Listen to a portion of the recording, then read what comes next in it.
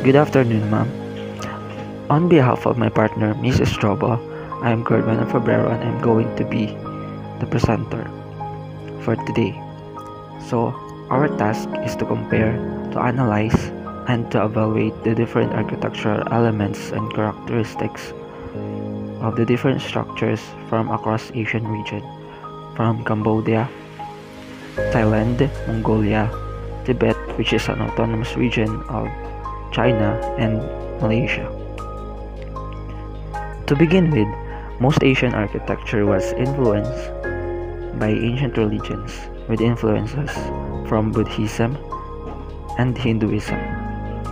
Both structures is governed depending on their religious affiliation. Let's start with the roof.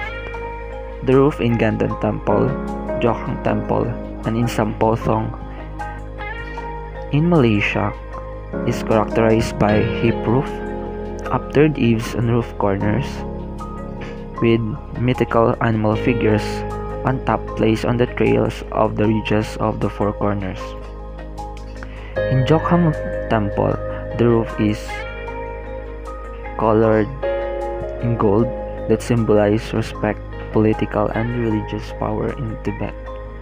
The Bayon Temple roof is made up of sandstone, bricks, and laterite.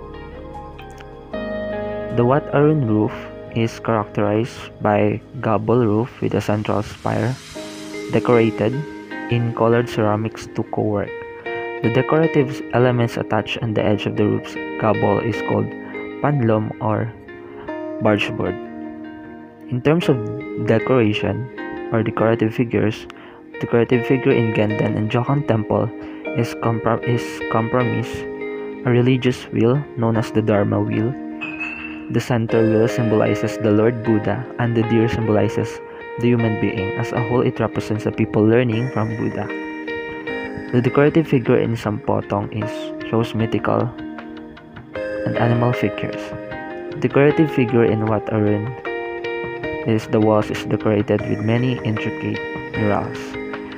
The decorative figure in Bayon Temple is the stone carving of faces of over I think it's 200 faces carving the tower and the walls. Windows The window in Jokhang Temple, the frame is in black Tibetan style window called Baka, a black trapezoidal patterns. The window in Sampokong is a stadium oval shape with wooden window grills. The window in Bayon Temple is only open in one direction, which is in the east. On the other three sides, it features fake or blind windows. In Gandan Temple, the windows is primarily decorated with a ladder-shaped frame painted in red color the upper part is consist of overhanging cornices in three layers. In terms of arches, the arches in Sampokong, Jokhang Temple, and Gandan Temple in Mongolia is typified with Paifang, also known as Pailu. It is a traditional style of Chinese architectural arc or a gateway structure.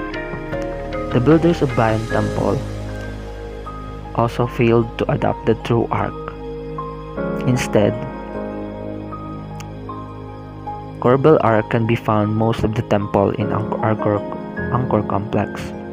The arches from Wat Arun and most of religious building in Thailand is characterized by pointed arches with decorative elements which is similar to India.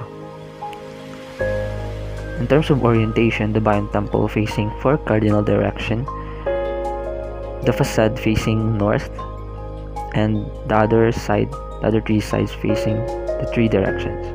Wat Arun main entrance facing east. The Jokhang Temple has an east-west orientation facing Nepal.